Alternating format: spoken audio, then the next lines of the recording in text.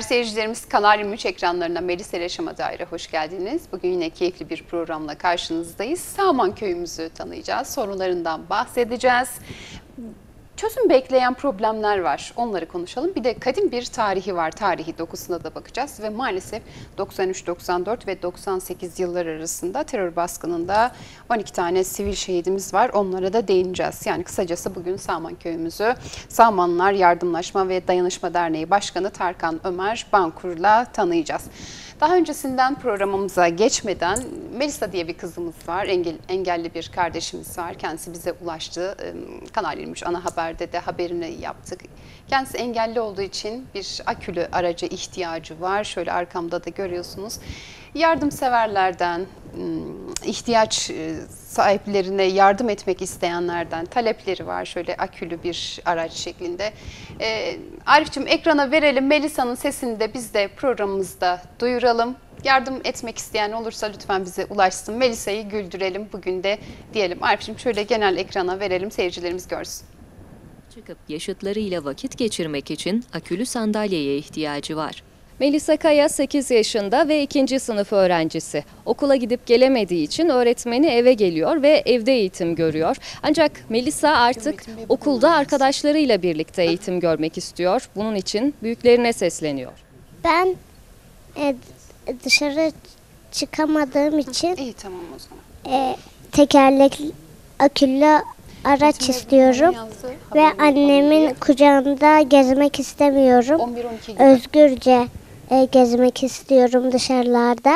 Yürüyemediğim için akülü araba istiyorum ve annemin babamın kucağına gitmek istemiyorum ve abilerimden yardım istiyorum. Melisa sesini duyurmak için Türkiye Sakatlar Derneği Elazığ Şube Başkanı Metin Fırat'a bir video göndererek evine davet etti. Çok değerli başkanım Metin Fırat. Ben sizden e, yürüyemediğim için e, e, akülü araba istiyorum ve sizi evime davet ediyorum ve sizi çok seviyorum. Daveti geri çevirmeyen dernek başkanı Metin Fırat, Melisa'yı evinde ziyaret etti. Melisa kardeşimiz e, 8 yaşında. E, kas hastası kendisi. E, okula gidemiyor. E, sanırım ikinci e, sınıfa gidiyor kendisi. Annesinin ve babasının kucağında gidiyor. Kardeşlerinin kucağında gidiyor. Biz buna bir son vererek sadece kucakla bizler gitmek istemiyoruz. Özgürce kendi başımıza hareket etme kabiliyetini e, akülü araçlarda buluyoruz. Metin Fırat, Melisa'nın rahatça okula gidebilmesi için hayırseverlere seslendi. E, buradan hem Melisa ile birlikte hayırseverlerden e, rahatça hareket etmemiz için, okula gitmemiz için, dışarıda dolaşması için, evin içerisinde dolaşması için elektrikli akülü araba ihtiyacını duyuyoruz burada. Bizler de e, hayırseverlerden bu desteği bekliyoruz. İnşallah Melisa kardeşimizin siz kıymetli hayırsever kardeşlerimiz yüzünü güldürecek. Dümbeleyi çala çala yoruldu bileklerim al beni kıyamam seni. Değerli seyircilerimiz biz Melisa'nın e, talebini yansıttık. Bizlere ulaştı. Hayırseverlerden akülü, elektrikli akülü bir araç bekliyor. İnşallah çocuğumuzun yüzünü güldürelim diyelim ve şimdiden teşekkür edelim. Melisa'cığım buradan sana da selamlarımı yolluyorum. İnşallah en kısa zamanda aracına kavuşursun. Hem okuluna gidersin hem dışarıda gezme şansın olur diyelim.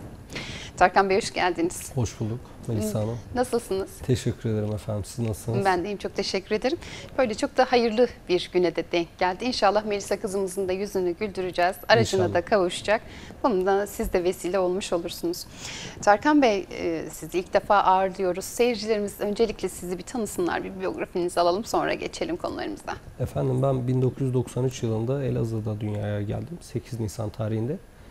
Aslen e, Tunceli Pertek Sağman köyüne nüfusuna kayıtlı bir ailenin evladıyım. Elazığ'da ilk ve orta öğretim, öğretim e, öğrenimimi Elazığ'da tamamladım. Devamında e, Elazığ Fırat Üniversitesi'nde muhasebe bölümünü okurken KPSS sınavına girmiştim. O dönemde KPSS'den de e, iyi bir puan alınca Adalet Bakanlığı'nın icra memurluğu sınavına girdim. Gaziantep Adliyesi'nde göreve başladım. Devamında Elazığ tayinimi aldım. Geldim. Şu an Elazığ'da ikamet etmekteyim. Elazığ Adliyesi'nde çalışmaktayım.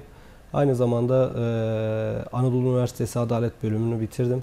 Fırat Üniversitesi Tarih bölümünde son sınıf, son dönem öğrencisiyim. Nasip olursa bu dönem o bölümü de bitirip yüksek lisans veya e, doktora gibi planlamalarım var. Allah nasip ederse yani böyle çalışmalarımız var. İnşallah diyelim. İnşallah onları da gerçekleştirirsiniz.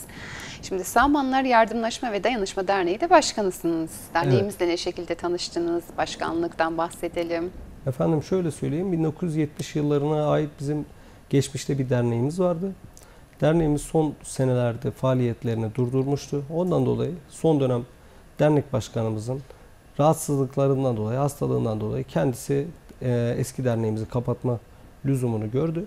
Biz de yeni derneği kurduk. Yeni bir yapılanma, yeni bir çalışmalar. Bu derneğin yapılmasında ve çalışmalarında köyümüzün ileri gelenleri vardı. Köyümüzün zaten bu derneğin yönetim kurulunda üniversitedeki hocalarımız ve kamuda çalışan köylülerimizden oluşmakta dernek yönetimimiz. Yani çalışmalarımıza başladık. Çalışmalarımızın en büyük nedeni Sağman gibi tarihi menşei e, doruklarda, zirvelerde yaşayan bir beldenin, bir köyün, bir sancak beyliğinin devamında gençlere, ilerleyen süreçteki çocuklarına atadan kalan mirası canlandırmaktır. Bundan dolayı derneğimizdeki çalışmalarımıza devam ediyoruz. Evet. Şimdi yansıtacağız zaten faaliyetlerimizi ve yaptıklarınızı ve yapacaklarınızı yansıtalım ama Sağman Köyü'nü ben de merak ediyorum. Kadim güzel bir tarihi var. Hatta sancak dediniz zamanda Evet. değil mi? Biraz bahsedelim mi tarihinden? Efendim Sağman Köyü e, geçmişte Sancak Beyliği olarak 1515 yıllarında Osmanlı Devleti'nde Kanuni Sultan Süleyman dönemine bu devir geliyor. Kanuni Sultan Süleyman döneminde Sancak Beyliği olarak e, günümüze kadar geliyor. 1518 yılında 20 köy, 1523 yılında 18 köy, 1541 yılında ise 19 köyün bağlandığı bir Sancak Beyliği. Bu Sancak Beyliği'nin ilk e, Sancak Bey'i Pir Hüseyin Bey'in evlatları arasında zehamet olarak bölünüyor. Bunların e, birincisi Keyhüsrev Bey oluyor. Keyhüsrev Bey'den sonra Salih Bey geçiyor. Hatta Salih Bey döneminden kalma kalıntılarımız ve camimiz, külliyemiz Sağman'da bulunmakta. Devamında Salih Bey'in kardeşi Ömer Bey ile Sancak Beyliği devam ediyor. Köyümüz tarihin her aşamasında devletin, vatanın, milletin yanında yer almış bir köylüdür. Her dönemde biz e, devletimizin yanında yer almışızdır. Şu anda da aynı seviyede devam etmekteyiz. Köyümüzde tarihi alan olarak Sağman Tarihi Camii, Sağman Salih Bey Tarihi Camii ve Külliyesi bulunmakta. Yanı sıra Sağman Kalemiz bulunmakta ve e, geçmişten gelen bir anıt çınarımız bulunmakta. Anıt çınarımız da muhtemelen 750-800 yaşında olduğu bilinmekte ve Kültür ve Turizm Bakanlığı tarafından koruma altına alınmıştır. Yani böyle. Evet. Şu anda Sağman'ın nüfusu ne kadar? Şu anda Sağman'ın e, bu terör olaylarından sonra Sağman'daki nüfus azaldı. Sağman'da yani Sağman Sağman'dan büyüktür gibi bir e, politikamız var bizim. Sağman'da 200 civarı bir nüfusumuz var. Ama mesela Elazığ vilayetinde Sağmanlı yaklaşık 5000 ile 10 bin arası. Biz zaten Sağman'ı Pertek'ten ayrı görmediğimiz için Pertekli'de e, burada 30 bin ile 40 bin arası olarak biliniyor. Evet. Okur yazarlıktan biraz bahsedelim e, program öncesi. Öne çıkmış isimlerden bahsettik değil mi? Evet, şimdi bizim Sağman'da biraz e, köyde bu işte dediğim gibi olaylar olduğundan dolayı genelde Elazığ'a göç etmişler. Elazığ'a göç edenler de genelde bürokrat olanlar var. Yani e, köyümüzün ileri gelenleri var. Elazığ'da hatta şu an e, İl Emniyet Müdür Yardımcımız Ali Murat Yıldırım Beyefendi e, Sağmanlı. Daha evvelden İl Sağlık Müdürlüğü yapan Sayın Hocamız Doktor İhsan Şahin Hocamız e, Sağmanlı. Eski Pertek Belediye Başkanı Tahsin Yıldırım Sağmanlı. Eski AK Parti milletvekili adayları Osman Vahap Yılmaz Sağmanlı. Yani genelde okumuş bir e, köyüz ve gençliğimize de okumayı yansıtmışlar. Her daim yani e, çocukları için çabalamışlar, gençler için, geleceğimiz için genelde hep yani çalışmaları, okumaları, ilerleyen süreçte bir yerlere gelmeleri için evlatlarına hep böyle öğütlerde bulunmuşlar. Çok güzel. Peki şu, şu andaki ekonomik durumunu konuşalım. İnsanlar daha ziyade tarım, hayvancılık veya işte hizmet alanında. Efendim Neredeler? e, 98 yılına kadar e, bizim köyümüzde tarım hayvancı, hayvancılık çok fazlaydı. Şimdi terör olayları baş gösterdikten sonra hayvancılıktan e, daha çok azaldı. Bitme noktasına geldi. Bizim köyümüzün geneldeki geliri koruyuculuk veya işte mesela e, tarım. Araziler çok fazla ama dağlık ve engebeli olduğu için fazla da böyle e, nasıl anlatayım traktörle girilebilecek yerler değil. Değil. Yani hep eski düzenekle devam eder. E, geriye kalan e, köyümüzde yaşayan kişiler de koruyuculuk mesleğini icra etmekte. Böyle köyümüzdeki... Peki böyle Sağman'a has e, yiyecekler, Var, içecekler tabii ki var. hangileri ön plana Mesela çıkanlar? e, tut pekmezi, Hmm. ceviz, badem bizim köyümüzde her daim bulunan e, yiyeceklerdir. Yaz akşamları mesela e, evlerde hep ikramlarda bulunur. Meyveler, sebzeler çok fazladır. Paşa armudu diye bir armudumuz vardır genelde. Çok lezzetlidir o. Aynen. Yani köyümüzde bulunmakta. Köyümüzde zaten genelde hep e, daha evvelden bu işte tarım alanı, e, tarımla alakalı çok fazla şey olduğu için engebeli olduğu için de zaten genelde ağaçlar ekilmiş. Mesela herkesin tut bahçesi vardır. Bununla alakalı tut pekmezi yapılır, orcik yapılır, işte cevizleri vardır. O yani pestil yapılır. Bununla alakalı da köyümüzün bu ürünleri de vardır yani. Şimdi barajdan da biraz bahsedelim. Sağman'ın kaderini değiştirdi mi baraj? çok değiştirdi. Yani eee Sağman, Pertek bunların tabii ki kaderini değiştirdi. Barajın gelmesiyle yani köprü daha sonrasında köprünün yıkılmasıyla, köprünün suyun dibinde kalmasıyla Sağman'ın kaderi değişti. Neden? Biz daha evvelden Elazığ'a bağlı olan bir yer. Şimdi Pertek'e bağlı. Pertek de Tunceli'ye bağlı. Bu süreçte de işte bizim mesela gidiş gelişlerimizde çok sıkıntı yaşanıyor. Özellikle feribot iskelelerinde e, azalınmayacak kadar yazları yani sıra bekleye bekleye bekleye Evet. 2-3 ferbot geçiyor öyle geçiyoruz. Zaten şu e, feribotlarla alakalı da geçenlerde bir yine sizin kanalınızda bir program yapılmıştı yanlış hatırlamıyorsam. Bununla alakalı proje çalışmaları başlatıldığını öğrendik. Yani Pertek'te de böyle bir 3 şeritli yol yapıldı. Son zamanlarda devletin karayollarının özellikle çok büyük emeği var Pertek'te. 3 şeritli yol yapıldı. Köprünün yapılması elzem bir konu. Çünkü yazları Pertek'te çok sıkıntı yaşanıyor. İnsanlar orada ferbot çilesi hiç bitmiyor. Ferbot çilesi bitmediği gibi de insanlar orada orada işte mesela hastası olsa yetişemiyor. Yarım saatte bir ferbot kalkmasına rağmen o kadar ferbotta sıra oluyor ki insanların çok bu konuda sıkıntıları var. Şimdi geçenlerde bir paylaşım daha gördüm. Çemişgezek yolu üzerinde yapılması planlanma gibi bir şey görünüyor. Şimdi biz biraz araştırma yaptık bu konuyla alakalı Melisa Hanım. Pertek'te mesela karayollarının geçiş oranıyla Çemişgezek'te geçiş oranı veya Pertek'te olsan olur, Çemişgezek'te olsan olur diye bir bakınca şimdi Pertek'in e, kozmopolitik durumuyla alakalı geçiş güzergahı olduğu için Pertek, mesela Elazığ, Pertek, Pertek'ten Tunceli, Tunceli'den Erzincan, Erzincan'dan Karadeniz yolu geçtiğinden dolayı bu e, feribotun yapılma noktası Pertek'in olması lazım. Çünkü bizim noktamızda şu an Çemişgezek e, tarafında yapılsa Çemişgezek'te mesela feribot saatleri 1 saatte bir, bizim Pertek'te yarım saatte 15 dakikada bir kalksa bile yazlı aylarında yetişemiyor bu feribot. Bundan dolayı da çilemiz bitmiyor. Çilemiz bitmediğinden dolayı da mesela farz edelim Çemişgeze'ye yapıldı bu ferbot. Yapıldığı zaman köprünün e, yani bir faydası Perte'ye olmayacak. Neden? Ha gelip feribotta o kadar beklemişsin. Saatlerce beklemişsin. Ha Çemişgezek yolu üzerinden e, dönüp o taraftan gelip Hozat'a, Hozat'tan Perte'ye geçmişsin. Yani maddi olarak hem e, karayolları, yeni yollar yaptığından dolayı hem devlete zarar hem de millete zarar. Yani oradaki hem zaman kaybına yer açacak hem de geçiş güzergahlarında çok büyük sıkıntılar olacak. Bu yüzden de yani şimdi biz bakıyoruz Pertek'te e, Pertek Tunceli'nin en büyük nüfuslu ilçesi. Yani Çemişgezek bize göre biraz daha az nüfusu olan bir ilçe. Bu güzergahta da hak aranıyorsa eğer geçmişte de köprü Pertek'indi. Şu anda Pertek'in olması lazım. Yani siyasiler biraz daha fazla Çemişgezek üzerinde duruyorlar ama bizim e, isteğimiz Pertek'in üzerine yapılması ve ta Süleyman Demirel döneminde yapılan bir projeler var. Şu anda da bir proje yapıldığını geçenlerde e, AK Parti MKYK üyesi Mustafa Ataş Bey söylemişti. Yani yapılacaksa eğer bizim talebimiz Pertek'e yapılması bunun için de gerekli icra heyetiyle, makamlarla yani çalışmalar yapmamız lazım.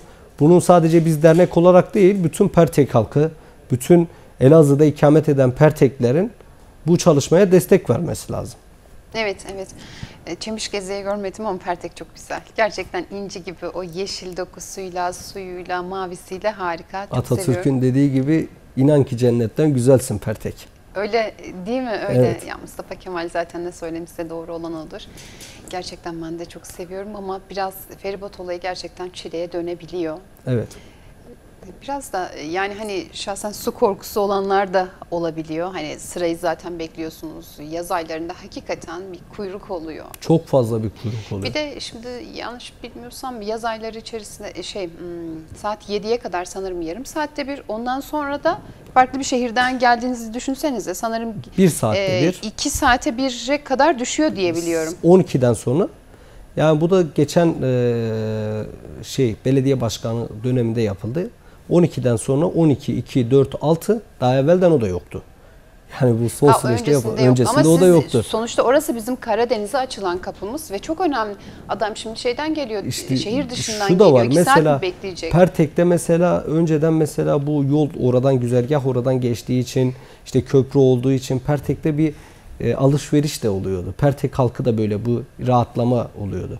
Ama şimdi mesela o dediğiniz gibi 12'den sonra olmadığı için Tunceli üzerinden Karakoçan, Kovancılar değil mi? oradan de devam ediyor, geliyor. Bu da e, hem yol olarak hem maddi olarak zaten e, insanların sıkıntıları var. Üzerine daha çok fazla baskı oluyor. Yani Evet. feribot çilesini beklemek istemeyenler bu taraftan geldiği zaman da daha fazla bir yol geliyorlar. O da büyük bir çile. Evet gerçekten şimdi e, feribot işletmecilerinde onların da sonuçta kayıpları olmasın, haklarına girilmesin bir şekilde onlar da e, halledilsin ama gerçekten şu köprü olayı artık yapılmalı yani. İnsan e, hakikaten o feribot bazen çileye gerçekten dönüyor. Biz sadece Tunceli'ye böyle bir gezi için giderken bile onun çilesini yaşıyorsak günlük Perte'ye, günlük Tunceli'ye gidenler var. Şehir dışına gidip gelenler Bir de var. özellikle mesela Pertek'te çalışıp kurum amiri olup, kurum müdürü olup veya kurum çalışanı olup Elazığ'da ikamet öyle eden kişiler var. da var. E şimdi Var. buradan adam her gün o çileyi çekiyor, gidiyor, geliyor, gidiyor, geliyor. Yani bu insanların çilesi artık bitmesin mi? Pertek Köprüsü'ne kavuşmasın mı? Yani yazık değil mi oradaki insanlara? Bir de yani hastası oluyor gel orada feribotta bekle. Bir şey oluyor gel orada feribotta bekle. İnsanların e bir de zaten feribotlarda da sıkıntı oluyor. Mesela şu an eee duruldu duruldu. Pertek Belediyesi'nin feribotu yazın sıkıntı oldu. Şimdi Pertek feribot Pertek Belediyesi'nin feribotunu köşeye çekmişler. 3 feribot çalışıyor yine yetişemiyor. Yani yaz ayında böyle ola- ola- olamayacak çileler, olmayacak çileler yaşanıyor. Bu da büyük bir sıkıntı. Ya bir de günlük gidip geldiğinizi düşünsenize. Benden son gittiğimde feribotu 15 lira mı vermiştim mesela? Şu an E sonuçta e, taksi 30 TL bildiğime göre. yani e, 30 gidiş 30 geliş günlük gidenleri bir düşünün. Gerçekten ciddi ciddi bunun halledilmesi gerekiyor.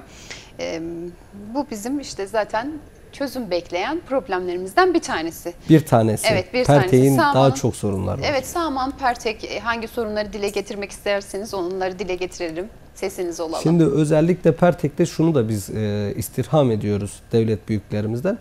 Şimdi e, 2023 tarihinde m, nasip olursa Çemişgeze'ye bir doğalgaz depolama alanı yapılacakmış. Bununla alakalı Çemişgeze'ye işte e, 2023'te mesela şeyin doğalgazın geleceği biliniyor. Perte'yi araştırdığımızda 2024 yılı gözüküyor. Şimdi e, ben bu süreçte de mesela Tunceli'nin en büyük nüfusa sahip olan 11 bin hatta 12 bin nüfusa sahip olan ilçesi Pertek. İlk Pertek'e gelmesi lazım bu süreçte. Ama Çemişgeze'ye gidiyor. Nedenini biraz araştırmak lazım. Neden Pertek'e bu zulüm yapılıyor? Bu Pertek'in bitmeyen çilesi neden? Niçin bunlar yapıldı? Yani Çemişgezek e, Belediyesi farklı bir partide, Pertek Belediyesi farklı bir partide diye bunun yapılmasının bir anlamı yok. Devlet herkese aynı şekilde davranmakla yükümlüdür. Nüfus çoğunluğu daha fazla bir yerdeyse ilk oraya gelmesi lazım. Bence 2023 doğalgazda doğalgazın 2023'te Pertek'e 2024'te Çemişgeze'ye gitmesi lazım. Çemişgezek'teki vatandaşlar da bizim canımız, ciğerimiz, ağabeylerimiz hepsiyle hısım akrabalığımız var. Can, yani öyle bir şeyimiz yok. Ama haksa, hukuksa ilk başta burada durum Pertek'in. Doğalgaz sorunumuz Evet var. doğalgaz sorunumuz var. Mesela kömürlerin fiyatları arttı, ağaçların fiyatları arttı. Yani e, bir odun yakmak istiyor adam, onun çilesi çok farklı. İnsanların yani daha ne kadar bu odun yakacaklar, kömür yakacaklar. Her yeri geldi. Pertege, işte Tunceli vilayetindeki ilçelere sıkıntı yani şu an gelmedi.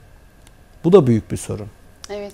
Doğalgaz gelmediği zaman e, Tunceli'nin çok yeşil. E, inşallah oradaki ağaçlar yasak bir şekilde kesilmiyordur. Kesilmez oradaki inşallah. insanlar tarafından. Yo, e, Tunceli'nin insanı doğaya saygılı. Doğaya, hayvanlara çok saygılılar Doğaya saygılı. kesinlikle. Tunceli insanında öyle bir sıkıntı yok.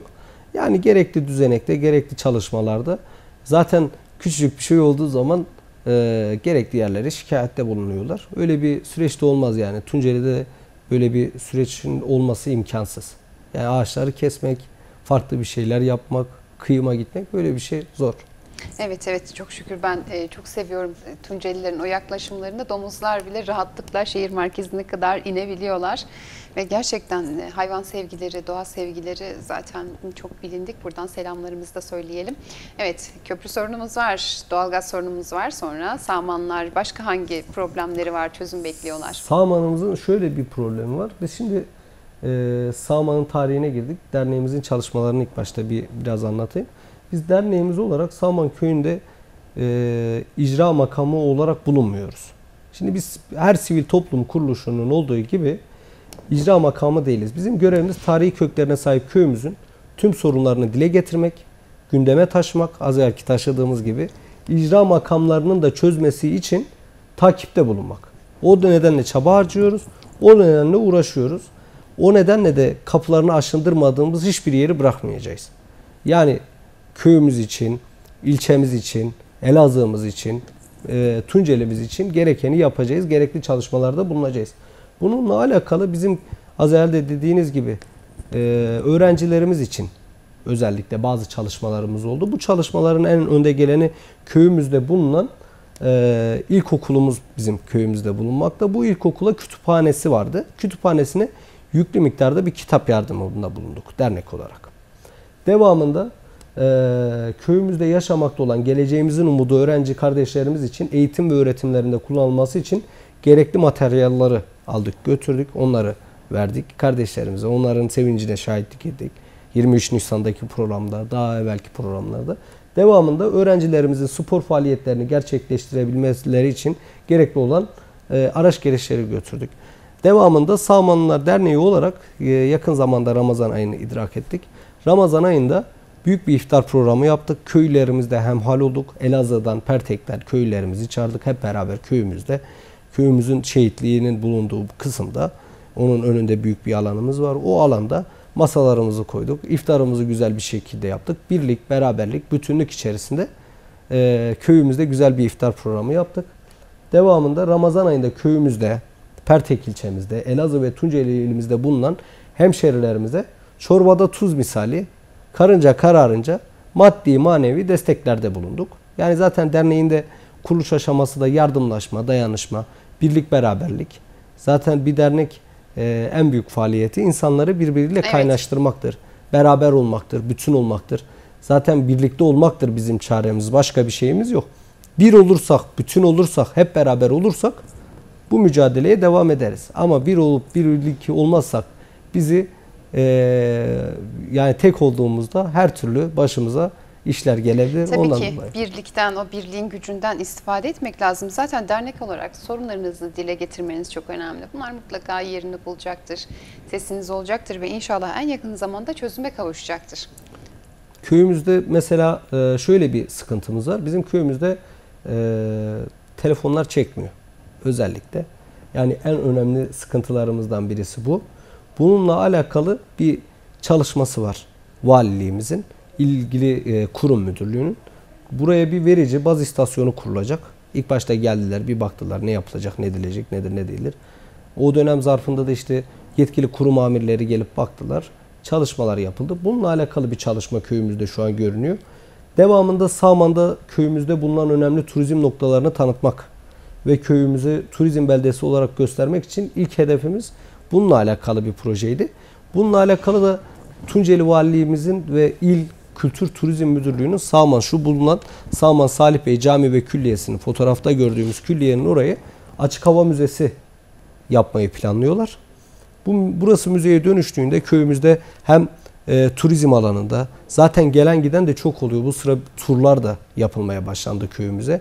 Özellikle köyümüzdeki işte tarihi camiyi, Sağman Derunihisar Kalesi'ni Şimdi ve şu- ta- zaten e, Tarkan Bey tarih bölümü öğrencisiniz zaten son sınıftasınız. Şöyle bize şu görselimizin biraz da tarihinden bahsedelim ki bize şehir dışından hatta yurt dışından da seyreden seyircilerimiz var görsünler. Turizm açılsın. şöyle. Tunceli'miz açılsın, Elazığ'ımız açılsın. Şöyle bahsedelim biraz. Şöyle söyleyeyim. Şimdi şu gördüğümüz arka tarafta bulunan kısım Sağman Derunihisar Kalesi. Deruni Hisar. Aynen Derunihisar Kalesi. Güzel. Bu kaleyi e, rivayet odur ki Artuklar döneminde yapılmış. Bir rivayet e, Urartular döneminde yapılmış. Ama Artuklar döneminde yapıldığı biraz daha fazla e, bilgiye sahibiz. Artuklu Bey'i buraya ava geliyor. Ava geldiği zaman burada işte bir sağmal diye bir taştan ses duyuyor. Ve o taşın orada bir koç kesiyor. Koç kestiğinde orada bir altın çıkıyor. Ve o çıkan altından da bu Salman Derunihisar Kalesi'ni yaptırıyor.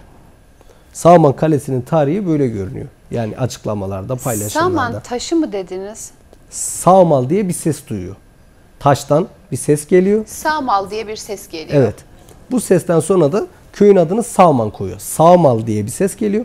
Sağman koyuyor ve oraya da bir e, şey kale yaptırıyor ve kalenin de işte yapımında oradan çıkan altınlardan yaptırıyor. Bu tarafta Kalemizi ge- geçmeden e, şimdi insanlar gezmeye geldikleri zaman kalemizden yana e, kalıntılarımız fazla var mıdır? Ne var içinde? efendim e, bir aşağıya doğru adımlarımız görünüyor. Bir de sadece şu hisar görünüyor. Sadece kalan kalıntımız bu. Bunun dışında başka bir kalıntı yok.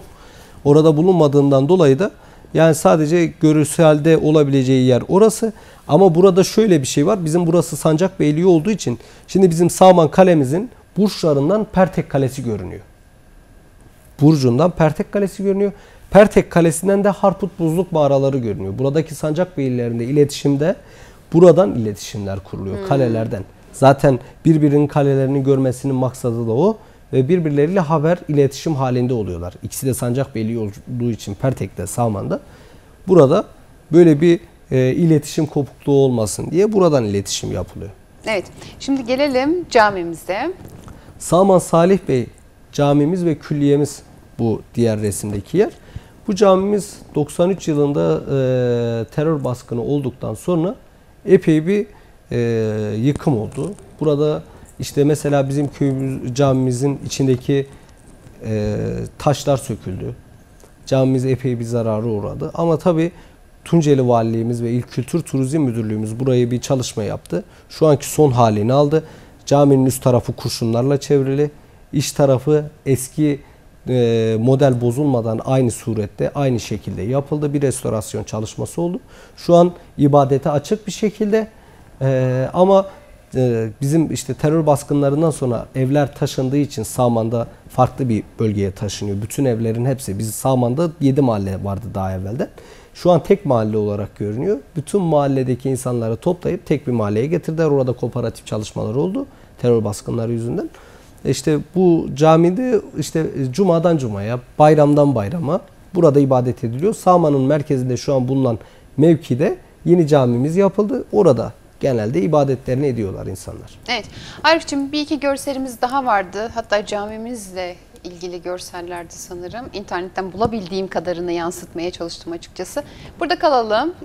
Ee, bahsetmiş olduğumuz camiydi. Yine Cami ve görüntü- külliye. Külliyemiz. Burada Salih Bey'in e, e, me- mezarı bulunmakta. İçeri, içeri tarafta Salih Bey'in eşinin mezarı bulunmakta ve çocuğunun mezarı bulunmakta burada. Görün- Yan tarafta da şurada külliye kısmı bulunuyor. Bu külliye kısmında Salman Sancakbeyliği olduğu dönemde büyük miktarda alim yetiştirmiş. Bu alimler Harput'a gelip Harput'taki alimlerle yarışıyormuş. Genelde yani şimdi söyleyeceğiz belki yanlış anlaşılacağız ama genelde bizim alimlerimiz daha önde geliyormuş ve orada eğitim öğretim faaliyetleri yapılıyormuş. Burası külliye aynı zamanda. Çok güzel. Bu caminin yan tarafında şu an e, yıkılmamış bir şekilde çeşmemiz bulunmakta. Sağman'da işte o camiyle beraber yapılan çeşme. Yani şu an tarihi alan olarak mesela şu yukarıda gördüğünüz evler işte oralarda 93 yılına kadar evler bulunuyordu. 1993 yılına kadar. yıkıntıları mı Tabii diyorsunuz? tabii oralar evler. 93 yılına kadar evler bulunuyordu. İşte 93 yılında mevkur olayın sonucunda oradan taşımak zorunda kaldı insanlar. Ya muazzam bir görüntü var. Zaten eh, birazcık da gölü de görüyor sanırım. Tam kaleyi görüyor. İki taraf da tam Evet. kaleyi görüyor. Pertek Kalesi'ni görüyor. Harika bir görüntü gerçekten. Arif şimdi diğer görselimize geçelim. Bu külliyemiz mi yine? Külliyenin bu tarafı. Zaten bu tarafta Salih Bey'in işte Türbe me- mezarı, sanırım. türbesi bulunuyor. Buradan da zaten karşıdan direktmen kalenin o burç kısmı görünüyor. Çok güzel. Bir kere manzara da harika gerçekten. İnşallah istediğimiz gibi turizmi açabiliriz. İnşallah. Eh, Biraz görüntü kaymış ama bu da daha... Bu geçmişten gelen bir fotoğraf. Yeni çekilmiş bir fotoğraf değil. Ondan dolayı. Hatta bak Arif şimdi geçti te- gelelim fotoğrafı. bir tekrar dönelim o görsele. Arka tarafta evlerin olduğu Ha, görünüyor. Evet şey Geçmişten gelen. katlı. Evet. Aynen. Geçmişten gelen fotoğraf. Diğer fotoğrafımıza geçelim. Bu da mı geçmiş? Evet bu da geçmiş. Geçmiş. Çok güzel. Ya işte terörden sonra mı? Evet, maalesef? terörden sonra. Ya işte Terörden terör sonra. her şeye zarar verdi, her şeye. Bu da yine e, ama bu fotoğraf gerçekten çok güzel olmuş. Kaleyle cami, külliye Evet, evet. birleşmiş Hep harika zaten bir görüntü. e, üst taraftan böyle çekildiğinde hem cami hem külliye hem de alt tarafındaki tut ağaçları, onlar zaten tut ağaçları. Hepsi birlikte tam çok güzel sembolize görünüyor. eden, Aynen, tam, tam bizi sembolize, sembolize aynen, etmiş aynen. harika gerçekten. Yine bu, bu, bu da biraz uzak bir görüntü. Çok güzel yani diyorum ya yükseklerde, yükseklere kurulmuş. Genelde oralarda e, dağ keçileri bulunuyor. İnsanlar da oradan çekildiği için dağ keçileri çok fazla. Şu anda var. Var, var. Var çok Var, güzel var. çok güzel. Evet e, ya ben şahsen avcılığı, avcılığı da kınadığım için e, inşallah Ben resmi avcıyım. Bu arada. Vallahi ben kesinlikle niye biliyor musunuz? Şimdi e, aynı şeye marketlerde her yerde ulaşabiliyorsunuz. Oradaki hayvanlar Tavşana ulaşamıyoruz. Kekliğe ulaşamıyoruz. Allah aşkına onu da yemeyin ne olur. Gerçekten ben ona çok karşıyım. Çok acıyorum çünkü öldürülen hayvanların yavruları var. Yani ah, haksızlık ediyorsunuz onlara. Arif'cim bir önceki görsele gelelim mi? Ben inanılmaz derecede hayvanları sevdiğim için kıyamıyorum yani. Bir önceki görsele gelelim. Tabii insanların bütün düşüncelerine saygımız Tabii, var. Şimdi Evet şu bizim zaten caminin caminin zaten iç tarafı bu. İç işte tarafı, terör baskınlarından maalesef. sonra buradaki işte taşlar, burada bulunan işte eee, malzemeler hep çalındığından dolayı, yıkıma uğradığından dolayı, insanlar da buraya gidip gelemediğinden dolayı.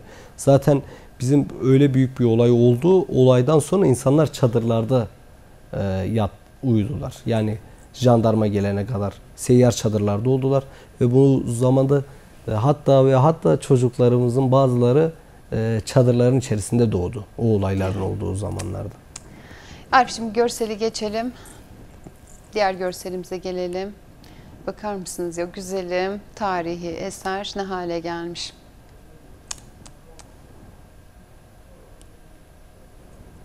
Ne denir? Bazen kelimeler de kifayetsiz kalıyor. İnsan ne diyeceğini Ama şöyle yani. bir şey var. Yani e, Melisa Hanım. Bunlar bunları yaparak bizim buralardan gidebileceğimizi düşünüyorlar. Bizim buradan çıkabileceğimizi düşünüyorlar. Bunlar bilmiyorlar ki Tunceli bize mezar olmadan kimseye gülizar olmayacak. Biz canımızı da vereceğiz, kanımızı da vereceğiz, vatanımızı bırakmayacağız. Evet, evet. evet. İstedikleri kadar yapsınlar, istedikleri kadar uğraşsınlar. Dün de şehit verdik, bugün de şehit vereceğiz. Ama bu vatanı, bu milleti, bu devleti kimsenin kötü emellerine bırakmayacağız. Kesinlikle. Yine söylüyoruz, dün de söyledik, bugün de söylüyoruz. Allah PKK'nın, Allah terör örgütlerinin belasını versin. Bunların da bu vatanımız Amin, üzerindeki uyguladığı eee, çalışmaları yani berbatlar. Allah yani bunları buradan Allah Yani ülkemizi destekleyenleri de- selamete çıkarsın diyelim. Şurada şehitlerimiz de yansıdı zaten. Allah mekanlarını cennet amin, etsin. amin. Ben ona zaten kesinlikle inanıyorum mekanlarının cennet olduğuna.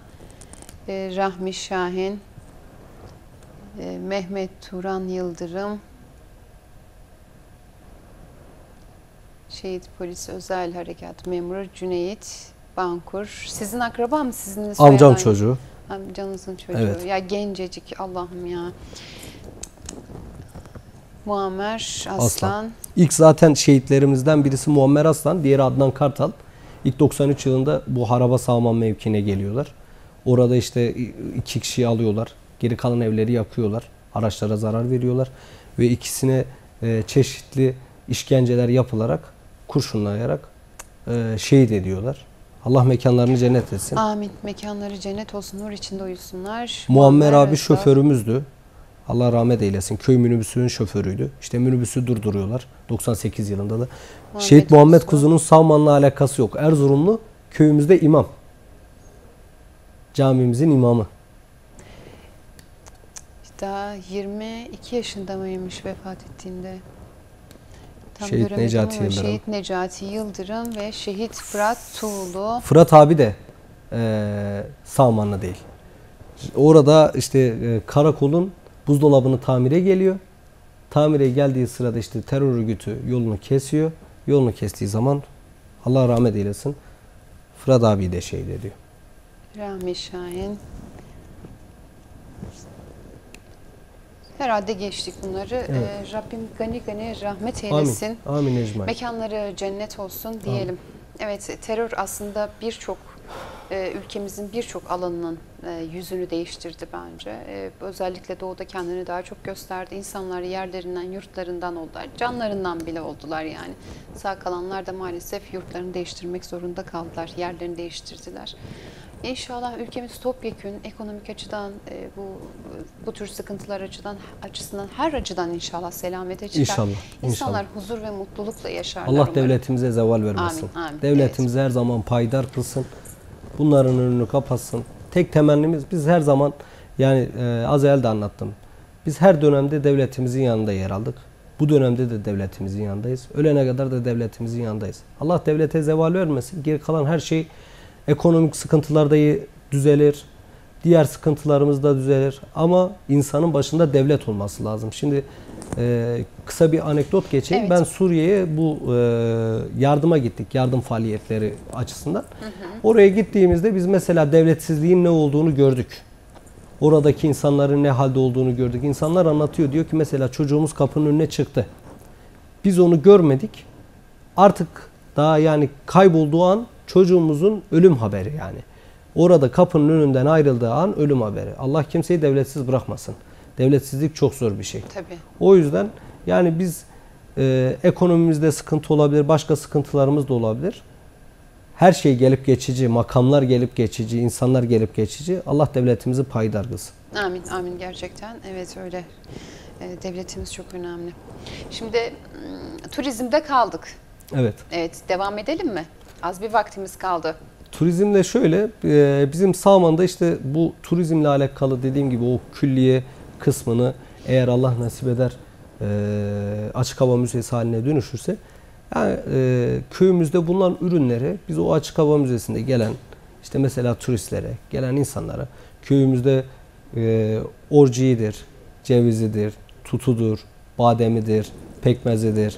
Ondan sonra daha farklı yöresel ürünleridir, arbutudur. Bunları orada yani insanların köyleri köylülerimizin e, satacağı veya toplu bir şekilde kooperatif gibi, dernek gibi veya orada mesela bir çay bahçesi gibi bir şeyler yapmayı planlıyoruz. Nasip olur. Allah nasip ederse tabii ki bunlar e, derneğimiz üzerinden değil, devlet üzerinden yapılacak planlamalar. Devletimiz orada bir plan yapar. Biz de onlara destek veririz. Köyümüzde de burada bir maddi gelir olur. Köyümüzdeki insanların da bir maddi e, menfaati olur. Bir şeyler kazanır. Ek gelirleri olur. Bununla alakalı da bir çalışmalarımız var. Evet. Ya e, zaten köylümüz köyüne dönerse daha mı da mutlu olacak. E, şehir merkezlerindeki işsizlik de azalacak. Maalesef işte bu tür güvenlik sorunları hallolursa Efendim işte köylümüz şu anda şöyle bir şey var. Mesela Elazığ'a gelmiş taşınmış. Elazığ'da gelmiş devlet memuru olmuş. Ailesini burada yönetmiş. Çocuklarını burada okula göndermiş. Veya farklı liselerde kazanmış. Şimdi ilk konuşmamızın başında da söyledim. 5 bin ile 10 bin arası Salmanlı burada bulunmakta diye. Şimdi burada bulunan insanların sadece yazdan yaza gitme şansı var. İnsanlar tamam e, köylerine gitmek istiyorlar ama insanların da bir yaşam mücadelesi var. var. Burada çalıştıklarından dolayı yani e, hayatlarını geçim, ikame etmek durumunda olduklarından dolayı yani buradalar. Allah herkese de kolaylık versin. Yani köylülerimizin değil bir tek bütün memleketimize Neden bahsediyorum biliyor musunuz Tarkan Bey? Şimdi şöyle e, şehir merkezinde tutulmuş, şehir hayatına tutulmuş insanlardan bahsetmiyorum. Zorunlu göç etmek zorunda kalmış insanlar. Öyle. Onlar köylerine dönmek isteyen gruplardan bahsediyorum mesela. Dönmek istiyoruz diyorlar. Şehire tutunamadık. Hani burada çocuklarımız da işsiz kaldı. Okuyamayanlar, hizmet sektöründe olamayanlar veya ticari döngüde yer alamayanlar. Köylerine dönmek isteyenler için söylüyorum. Yoksa üzerinden bayağı bir zaman geçti. Şöyle bizim köyümüzde şu an e, köyümüze dönmek isteyenlerden yana sıkıntı yok. Niye? Tunceli'de zaten terör bitme noktasına geldi. Öyle bir sıkıntımız olmadığından dolayı. Yani e, buradan insanlar oraya gitmede böyle bir sıkıntı yaşamıyorlar. İsterlerse bizim köylümüz geri dönebilirler. Zaten yaz aylarında bizim nüfusumuz şu an dedim ya 200-100 işte mesela o oran. Yaz aylarında bizim nüfusumuz 1500'ü buluyor. Çünkü niye? Mahallelerimiz var dediğim gibi. Evleri yıkılmamışlar. Mesela mahallelerine gidiyor. Mahallelerinde ağaçlarıyla uğraşıyor. Tarımla uğraşıyor. Geliyorlar, gidiyorlar. Yani böyle olduğundan dolayı insanlar bir de örf, anane, adeti olduğundan dolayı işte büyüklerini görmeye geldiklerinden dolayı bizim köy bu kadar baskı olmasına rağmen yani yaşlarımız halen de orada. Gençlerimizin buraya gelmesinin nedeni ise maddi imkansızlık. Yani köyde durup ya koruyucu olacak. Koruyucu da her zaman alım olmuyor. Evet. Tarımla uğraşsa tarımın da belirli miktarda bir paran olacak ki veya bir gelirin olacak ki tarıma yönelik bir şeyler yapabilesin. Ondan dolayı insanlar burada gelip asgari ücretten bile çalışsak yani bir imkanımız olsun, bir ekmeğimiz olsun, bir faydamız olsun diye geliyorlar. Yoksa mesela e, her köye gidene bir ekmek verilse, her köye gidene bir imkan verilse Köyler biraz daha yaşanılabilir hale getirilse aslında Aynen. insanlar pandemi döneminde şahsen ben böyle doğayı, köyleri o kadar çok özledim ki bana şey deseler şehir merkezinde mi yaşamak istersin, şöyle açık kırsalda, köyde mi yaşamak istersin? İnanın ki köyü tercih ederdim. Gerçekten o kadar ihtiyacımız varmış ki. iki dakikalık bir vaktimiz kaldı. Mesajımı okuyayım. Son sözlerimizi artık alalım. Teşekkürlerimiz var demiştiniz.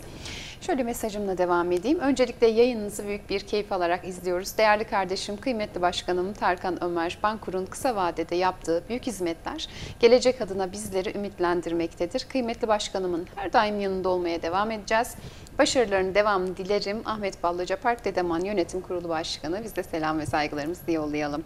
Aleykümselam. Allah Genç yaşında olsun. bölgede ve özellikle köylerinde teröre dur diyen, köyünde genç yaşında örnek olacak şekilde hizmet eden Tarkan Reis'e selam olsun. Bu güzel insanı ekranları taşıyan siz Kanal 23 çalışanlarına ayrıca teşekkür ederiz. Devletimiz var olsun demişsiniz. Amin diyelim. Devletimiz çok önemli. Evet bir dakikalık bir vaktimiz kalmış. Konuşacağımız konular vardı galiba. Son sözlerimizi artık Efendim, alalım. son Tarkan sözlerimizi söyleyelim. Bu son e, geçen hafta bizim e, burada Sağman şehitliğimiz var, mezarlığımız var. Bu mezarlıkta biz işte otların, ağaçların kesilmesiyle alakalı bir sıkıntımız vardı. Temizlik aşaması vardı. E, Allah razı olsun. Belediye başkanımızın yanına gittik. Şahin Bey bizi hiç güzellikle karşıladı. Hemen Park ve Bahçeler Müdürünü görevlendirdi. Nazif Bey ile beraber görevlendirdi. Biz gittik, bütün çalışmaları yaptık. Temizlik aşaması yapıldı. Bütün e, köyümüzdeki mezarlıklar temizlendi. Bunun için özellikle bizi kırmayıp hemen direkt ben gerekli birimleri, gerekli ziraat mühendislerini, oradaki ıslah çalışmalarını yapmak için gönderen Sayın Belediye Başkanımıza teşekkür ediyorum. Ayrıyeten her daim yanımızda olan yani e, köyümüzün de ileri gelen ailelerinden biri olan ve burada da ilimizin bürokratlarından Elazığ İl Emniyet Müdür Yardımcısı Ali Murat Yıldırım'a köyümüzün bu derneğin ilk kuruluş aşamasından bugüne kadar verdiği destekten dolayı çalışmalarımıza verdiği e, özellikle her daim yanımızda olduğu için ona da çok teşekkür ediyorum. Kanal 23 ailesine de size de teşekkür ederim. Bizim e, böyle sorunlarımızı, sıkıntılarımızı dile getirebilmemiz için fırsat verdiğiniz için. Hayırlı günler dilerim. Evet, çok teşekkür ederiz. Güzel Sağman'ımızı sayenizde biz de tanıdık. Özellikle doğuyu gezmek isteyenler mutlaka Sağman'ı, Perte'yi, Tunceli, Elazığ'ı değerlendirsinler diyorum. Artık programımızın sonuna geldik. Bizleri seyrettiğiniz için teşekkür ederiz. Sevgiyle kalın, hoşçakalın.